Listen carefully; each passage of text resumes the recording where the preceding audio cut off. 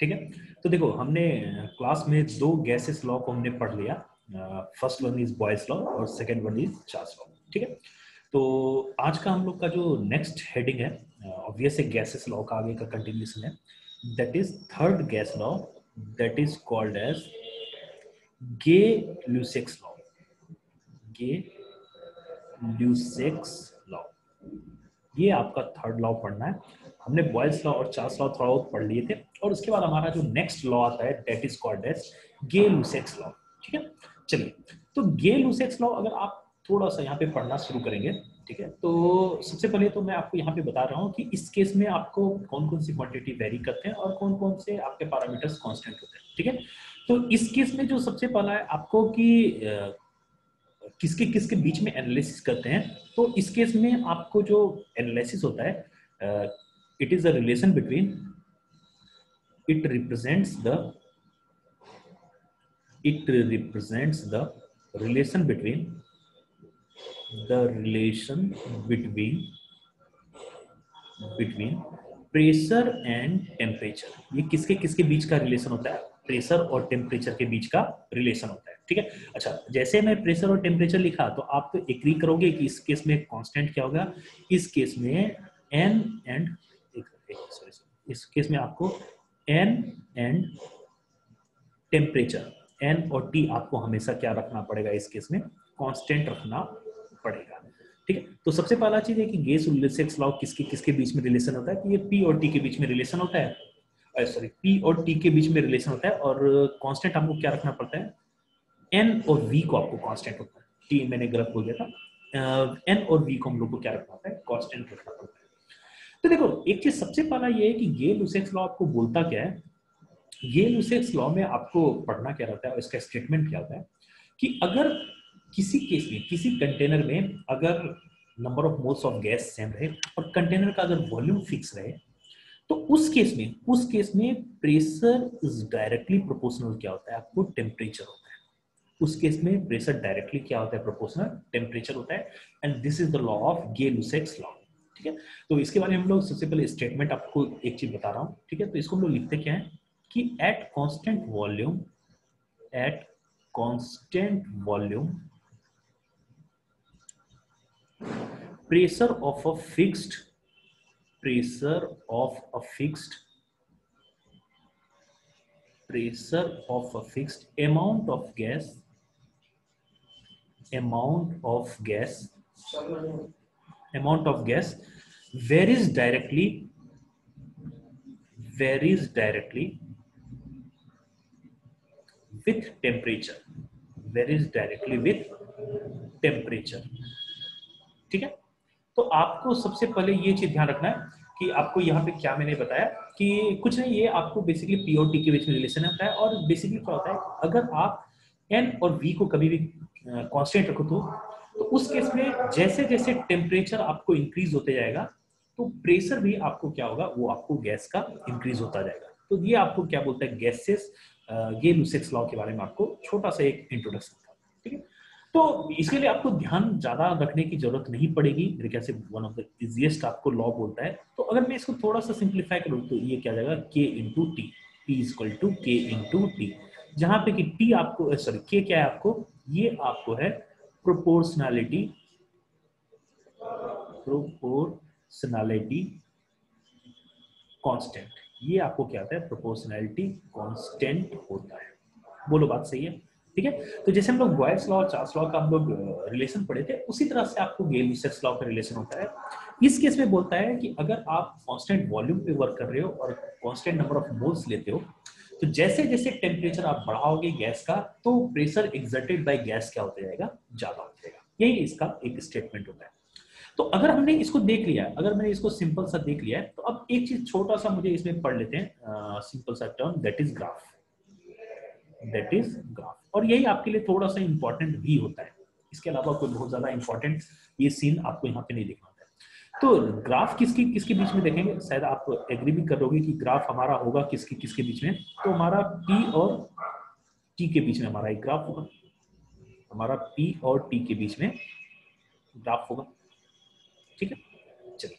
P और T के बीच में अगर ग्राफ है, शायद आप देख रहे हो ये एक स्ट्रेट लाइन बढ़ेगा जैसे जैसे मान के चलो हमने क्या दिया है? P is equal to K into T तो अगर ये आप देखोगे तो जैसे जैसे टी का वैल्यू बढ़ाओगे पी बढ़ते जाएगा। तो अगर आप टी का वैल्यू बढ़ाते जाओगे तो आपको पी का वैल्यू क्या होता जाएगा? बढ़ते जाएगा। शायद यहाँ तो आप एग्री करोगे। अच्छा एक चीज़ ध्यान रखना है आपको, एक चीज़ थोड़ा सा ध्यान रखना है कि इस ग्राफ को ड्रॉ करने में हमारा कांस्टेंट क्या था? वॉल्यूम यानी आप इस ग्राफ पे कहीं भी मूव करोगे, इस ग्राफ पे वॉल्यूम आपको क्या रहेगा? वॉल्यूम रिमेंस वॉल्यूम रिमेंस हमेशा क्या रहेगा? कांस्टेंट रहेगा। वॉल्यूम रिमेंस क्या रहेगा? कांस्टेंट और अगर वॉल्यूम कांस्टेंट होता है कभी तो उस केस में हम लोग उसको नाम देते हैं आइसोकोर। उस केस में हम लोग क्या नाम देते हैं? आइसोकोर कर्व के नाम से जानते हैं इसको। ठीक है? तो इसके लिए कोई दिक्कत नहीं। हम लोग इसको किस नाम से जानते हैं? आइसोकोर कर्व के नाम से। याद है, आइसोथर्मल केस कौन सा होता था? टेम्परेचर कांस्टेंट आइसोबारिक केस कौन सा होता था? Pressure constant. अगर आपको वॉल्यूम कभी केस में कांस्टेंट रहे तो उसको हम लोग किस नाम से जानते हैं? आइसोकोर कर्व के नाम से जानते हैं। ठीक है? चलिए, अब हमारे पास जो मेन अब हमारे पास जो मेन जो इंपॉर्टेंट चीज़ पढ़ना है दैट इज़ आपको भी क्लास में भी हम लोग डिस्कस किए थे that is different different graph ठीक है? डिफरेंट डिफरेंट ग्राफ बोलने का मतलब मान के चलो कि आपको एक और ग्राफ मैंने दे दिया ये। ठीक है? ये आपको ग्रीन से लेट ये वॉल्यूम V1 है, ये वॉल्यूम V2 है, और मान के चलो मैंने एक और ग्राफ आपके लिए खींच दिया। मान के चलो मैंने ये आपके लिए एक और ग्राफ खींच दिया let this graph B V3 ठीक है? तो आपसे ये अगर पूछा जाए कि V1 V2 V3 में क्या आपको रिलेशन होगा V1 V2 V3 में क्या रिलेशन होगा तो आपको ये समझ में आना चाहिए कि इसका अगर रिलेशन हम लोग देखना शुरू करेंगे तो सबसे ज़्यादा वॉल्यूम होगा हमारा V3 का, उसके बाद किसका आएगा? V2 का, उसके बाद किसका रिलेशन आएगा? V1 का कैसे हो गया? थोड़ा सा एनालिसिस कर लेते हैं हम लोग। मतलब आपको क्या है ना एक चीज़ समझना है कि जैसे जैसे हमारा वॉल्यूम बढ़ते जाएगा ये ग्राफ टूवर्ड्स आपको एक्स एक्सिस आपको क्या होते जाएगा? टिल्ट होते जाएगा। ठीक है ना? तो ये कोई बहुत इंपॉर्टेंट चीज़ है ये सिर्फ़ ऑब्जर्वेशन है। ठीक है अब आपको बताता हूँ कि ऐसा हमने कैसे ये कंक्लूड कर लिया कि यार ये V1, V2, V3 का हमारा रिलेशन ये होगा। कोई तो बेस तो होगा ना जिसके बेसिस पे हमने इसको कंक्लूड किया। ठीक है? तो इसको कंक्लूड करने का हम लोग कैसे डिराइव करते हैं? हम लोग इसको पहले भी डिस्कस किए हैं। कि मान के चलो, कि मैं मान के चल रहा हूँ, क्या कर रहा हूँ कि मैंने एक लाइन खींच दिया जिसमें कि प्रेशर हमारा क्या है? कॉन्स्टेंट है। प्रेशर हमारा क्या है? कॉन्स्टेंट है। मान के चलो कि एक मैंने लाइन ड्रॉ कर लिया प्रेशर मेरा कॉन्स्टेंट है। याद है प्रेशर अगर कांस्टेंट होते, ये रिलेशन ये ग्राफ किसके किसके बीच में आ रहा है? ये आपका रहा है वॉल्यूम और टेम्परेचर के बीच में। इसका मतलब ये किस लॉ को फॉलो करता हुआ नज़र आएगा? ये आपको चार्ल्स लॉ को फॉलो करता हुआ नज़र आएगा। आप ध्यान से सुनना इसको। तो अगर मैं बोलूँ अगर मैं बोलूँ, इस वॉल्यूम के कोरस्पॉन्डिंग मेरा टेम्परेचर है T1 इस वॉल्यूम के कोरस्पॉन्डिंग मेरा टेम्परेचर है अगर T2 और इस वॉल्यूम के कोरस्पॉन्डिंग मेरा टेम्परेचर है T3 बोलो, सही है, बात सही है, ठीक है? तो क्या आप बता सकते हो कि टेम्परेचर का रिलेशन हमारा क्या होगा? तो आप बोलोगे सर T3 का वैल्यू बड़ा होगा टी टू से, और उसका बड़ा होगा वैल्यू टी वन से। बिल्कुल सही बोल रहे हो, ठीक है? लेकिन अब एक चीज़ ध्यान देना कि अगर मेरा प्रेशर कांस्टेंट हो गया तो ये चूँकि V और T के बीच में रिलेशन है तो आपको पता है कि अगर प्रेशर कांस्टेंट होता है तो V इज़ डायरेक्टली प्रोपोर्शनल किसके होता है? टेम्परेचर से। तो जिसका टेम्परेचर बढ़ा, जिस केस में, उसके कोरस्पॉन्डिंग वॉल्यूम भी बढ़ा। तो बता सकते हो T3 अगर बढ़ा है T3 के कोरस्पॉन्डिंग वॉल्यूम क्या है आपको? V3 तो आपको यहाँ पे क्या दिखेगा कि V3 is greater than V2 is greater than V1 क्या ये होता हुआ दिखेगा? तो ये एक सिंपल सा आपको रिलेशन ध्यान रखना है कि आखिर ये लुसेक्स लॉ किसकी, किसके बीच में रिलेशन देता है? दूसरा चीज़, इसका ग्राफ कैसा होता है? और अगर मैं वॉल्यूम को वेरी करूँ तो मेरा ग्राफ किस तरह से डिविएट करता है? ये चीज़ आपको ग्राफ को रीड करने के लिए आना चाहिए, ठीक है? ये कैसे रीड किया? इसको तो आप, मेरे ख्याल से अब आप समझ में आ ही रहा होगा कि कैसे हम लोग इसको ग्राफ को रीड करते हैं। तो इसको थोड़ा सा ध्यान रखना कि हम लोग इस ग्राफ को कैसे एनालिसिस करें ठीक है? चलिए, अब अब अगर हम लोग नेक्स्ट लॉ की तरफ़ मूव करें, एक हमारा छोटा सा लॉ है that is called as Avogadro law that is called as Avogadro law Avogadro law की तरफ़ हम लोग थोड़ा सा मूव करते हैं, ठीक है? तो देखो, इसका कहना बेहद ही सरल होता है। इसका कहना बेहद ही सरल होता है। कभी कभी बुक में टिपिकल इसका डेफिनेशन लिखा रहता है, लेकिन इसका कहना क्या सिंपल होता है? जैसे मान के चलो पहले इसको मैं समझा दे रहा हूँ। मान के चलो आपके पास कोई भी एक कंटेनर है ए ये कंटेनर आपके पास कोई ए है। और मैं अगर बोलूँ कि यहाँ पे हमारे पास कोई सेम कंटेनर आपको मान के चलो बी है। ध्यान से सुनना, आपको कंटेनर बी है। अच्छा सबसे पहली बात बता रहा हूँ कि एवोगाड्रो लॉ किसके किसके बीच में रिलेशन है? ये है रिलेशन वॉल्यूम एंड एन के बीच में रिलेशन है। ये इन दोनों के बीच में क्या शो करता है? रिलेशन शो करता है। अच्छा शायद अब अब तो आप एग्री कर गए होंगे कि अगर ये दो के बीच में रिलेशन शो करता है तो आपको कांस्टेंट क्या होगा? तो P एंड T रिमेन्स ये दोनों क्या होंगे आपके? कांस्टेंट हो गए बोलोगे, चलो ठीक है, ये तो आपको अब ये चीज़ समझ में आ ही गया है, ठीक है? देखो, इस लॉ का कहना क्या है? पहले इसका स्टेटमेंट समझ लेते हैं, उसके बाद हम लोग लिखेंगे, क्योंकि कहानी बड़ा सिंपल होता है और इसका स्टेटमेंट समझने का चीज़ होता है, ठीक है? इनका स्टेटमेंट क्या होता है कि अगर मान के चलो ये दो कंटेनर है, इन दोनों कंटेनर का मैंने प्रेशर कांस्टेंट रखा मतलब सेम प्रेशर पे दोनों कंटेनर को रखा। इन दोनों कंटेनर का टेम्परेचर आपको क्या है? सेम है। अगर मैंने क्या है? प्रेशर कांस्टेंट रखा या फिर प्रेशर अगर सेम है और टेम्परेचर भी दोनों कंटेनर का सेम है तो इनका कहना यह है कि जिस कंटेनर का वॉल्यूम ज़्यादा होगा उसमें ज़्यादा नंबर ऑफ़ मोल्स आपके क्या होंगे? एकोमोडेट होंगे। मान के चलो कि आपको बोला जाए कि अगर ये वी ए है वॉल्यूम वी बी है, मान के चलो आपसे बोला जाए कि इसका वॉल्यूम वी ए का वी बी से ज़्यादा है। तो इसका मतलब ए के अंदर जो भी मोल्स होंगे, उसका भी वैल्यू एन बी से क्या होगा? ज़्यादा होगा। पहला तरीका रिप्रेजेंट करने का। दूसरा तरीका क्या बोला जाता है? दूसरा तरीका यह बोला जाता है कि अगर आपके पास दो कोई कंटेनर है अगर उनको सेम प्रेशर और सेम टेम्परेचर पे रखो तो अगर दोनों कंटेनर का वॉल्यूम इक्वल होगा तो उसमें equal number of mole of gas आपके रखे हुए और यही इसका एग्जैक्ट आपको टर्मोलॉजी होता है। ठीक है? तो मैं पहले आपको इसको कोशिश करता हूँ कि लिखने का, कि इसका स्टेटमेंट क्या होता है? कि equal equal volume of all gas equal volume of all gas gas under same temperature same temperature and pressure occupy occupy equal number of equal number of moles of gas equal number of moles of gas तो ये क्या होता है आपको Avogadro law का explanation होता है। शायद समझ में आ गया होगा। मान के चलो क्या है कि इसका यही कहना है कि अगर आपका प्रेशर और टेम्परेचर सेम रहा तो अगर आपके कंटेनर इक्वल रहेंगे तो उसके अंदर number of moles of gas जो आप रखोगे, उसके एन का वैल्यू भी क्या होगा आपका? सेम होगा। तो यही चीज़ है। तो अगर मैं इसको मैथमेटिकली रिलेट करना चाहूँ तो अगर मैं आपको बोलूँ कि इसका मैथमेटिकल मैथमेटिकल इसका एक्सप्रेशन क्या होता है? तो देखो, इसका मैथमेटिकल एक्सप्रेशन क्या होता है? मैं आपको बड़ा सरल से बताता हूँ।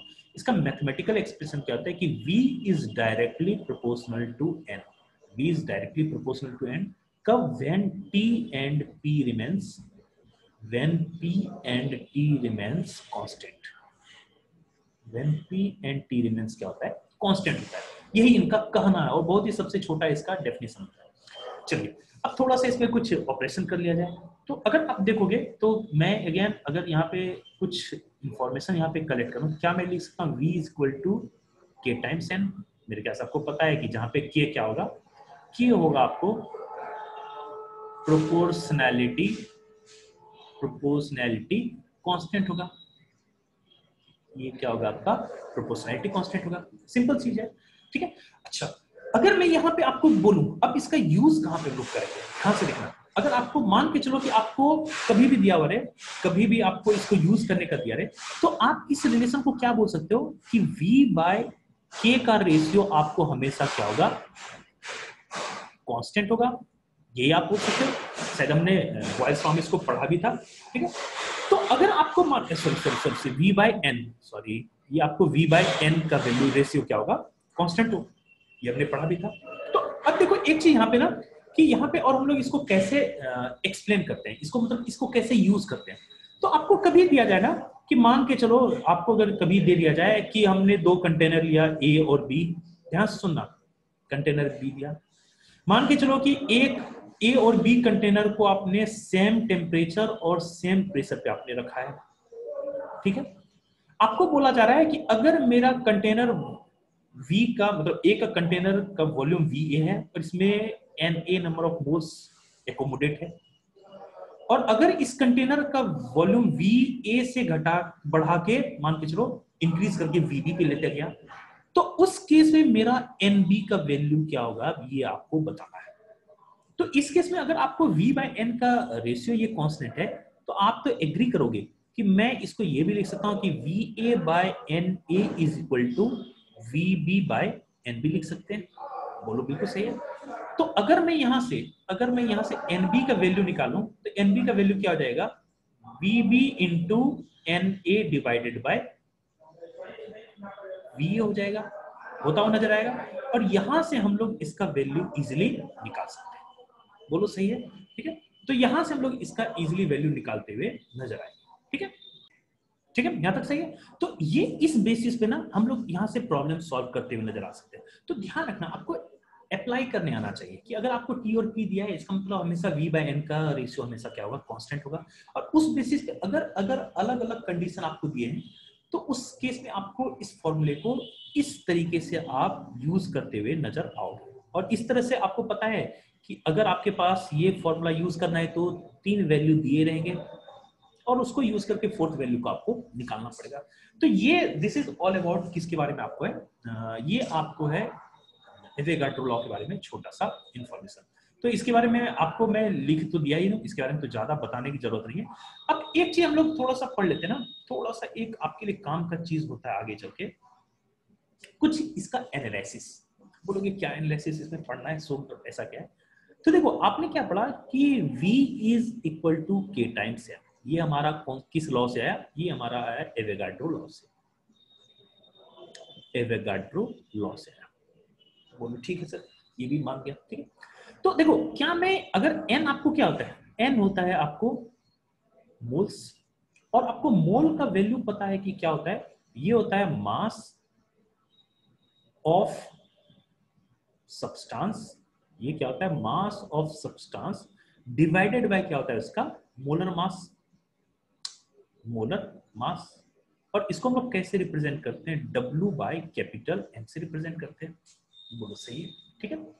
तो अगर मैं अगर मैं इसको यहाँ पे ये देखूँ, क्या मैं लिख सकता हूँ कि v is equal to K into N लिख सकते हैं? तो यहाँ पे लिखते हैं K into W by M का वैल्यू भी हम लोग लिख सकते हैं। देख सकते हैं यहाँ से? ठीक है? तो यहाँ से अगर मैं थोड़ा सा इसको मैनिपुलेट करूँ, यहाँ से अगर मैं थोड़ा बहुत कुछ चेंजिंग करूँ तो क्या आप ये बोल सकते हो? मैं यहाँ से लिख सकता हूँ कि molar mass of substance is equal to K multiplied by W by V इसमें तो कोई दिक्कत है ही नहीं लिखने में। बिल्कुल लिख सकते हैं। अच्छा एक चीज़ आपने पढ़ा है कि मास पर यूनिट वॉल्यूम, ये किस चीज़ का निशानी होता है आपको? डेंसिटी का होता है ना? ठीक है तो इसका मतलब आप यहाँ से ये चीज़ ज़रूर लिख सकते हो कि ये molar mass is equal to K times ये क्या होता नज़र आएगा? डी जहाँ पे कि डी आपको क्या है? ये रिप्रेजेंट कर रहा है आपके डेंसिटी। ये किसको रिप्रेजेंट कर रहा है? आपके डेंसिटी को रिप्रेजेंट कर रहा है। ठीक है? तो यहाँ से एक इंपॉर्टेंट कंक्लूजन कभी कभी स्टेटमेंट के फॉर्म में आपको लिखा जा सकता है कि जिस गैसेस का डेंसिटी ज़्यादा होगा, उसका मोलर मास ज़्यादा होगा, या फिर उल्टा, जिस गैसेस का मोलर मास ज़्यादा होगा, उसका डेंसिटी क्या होगा? ज़्यादा होगा। तो यहाँ से एक स्टेटमेंट मैं आपको लिख रहा हूँ। Density of density of a gas is proportional to, is proportional to, क्या होता है आपको? Molar mass molar mass of the of the gas बड़ा सिंपल सा चीज़ है, ठीक है? तो ये आपको बेसिकली सारे के सारे आपके गैसेस लॉन्ग हैं। जिसको कि कुछ हमने क्लास में किए थे और कुछ हमने यहाँ पे इसको कंप्लीट कर लिया ठीक है? तो इस बेसिस पे आप लोग इसको एक बार ज़रूर देखें और ये आपको रिलेट करना आना चाहिए। जैसे अब मैं अगर क्विक समराइज आपको कर दूँ क्विक समराइज अगर मैं कर दूँ, सबसे पहला चीज़ मैं आपको ये बात कर रहा हूँ कि मैंने कौन कौन से लॉ हैं कौन कौन से लॉ हैं कौन कौन से कॉम्पोनेंट कॉन्स्टेंट हैं और किस किस चीज़ के बीच में हम लोग रिलेशन देखते हैं। ये हम लोग को पढ़ना है। तो पहला लॉ हमारा कौन सा था? Boyle's law Boyle's law constant इस केस में क्या? क्या बता सकते इस केस में एन और पी कांस्टेंट था। रिलेशन हमारा क्या था? P is inversely proportional to P Boyle's law था हमारा। अच्छा चार्ल्स लॉ हमारा क्या था? चार्ल्स लॉ हमारा क्या था? ये रिलेशन था v और t के बीच में। ऑब्वियसली सॉरी सॉरी इस केस में हमारा कांस्टेंट क्या था? ये रिलेशन था v और t के बीच में रिलेशन था। और ऑब्वियसली इस केस में कांस्टेंट क्या है? P एंड n आपको क्या है? कांस्टेंट है। ठीक है? थर्ड आपको कौन सा है? Gay Lussac's law Gay Lussac's law of तो ये रिलेशन किसके बीच में देता है? प्रेशर और टेम्परेचर के बीच में, ठीक है? और इसके में कांस्टेंट हमारा क्या होता है? V एंड n आपको क्या रहता है? कांस्टेंट होता है। और लास्ट में हमारा कौन सा था? एवेगाड्रो लॉ एवेगाड्रो लॉ किसके किसके बीच में रिलेशन देता है? V और n के बीच में रिलेशन देता है। और इस केस में हमारा कांस्टेंट क्या होता है? P एंड t हमारा क्या रहता है? कांस्टेंट रहता है। तो ये एक हमारा ओवरव्यू एक बेसिक समरी तैयार हुआ किसका गैसेस लॉ के बारे में, इसको आप एक बार ऑब्ज़र्व करो, इस पे समझे। इसके बाद हम लोग इसके आगे कंटिन्यू करना शुरू करेंगे और हमारा नेक्स्ट टॉपिक होगा आइडियल गैस इक्वेशन ठीक है?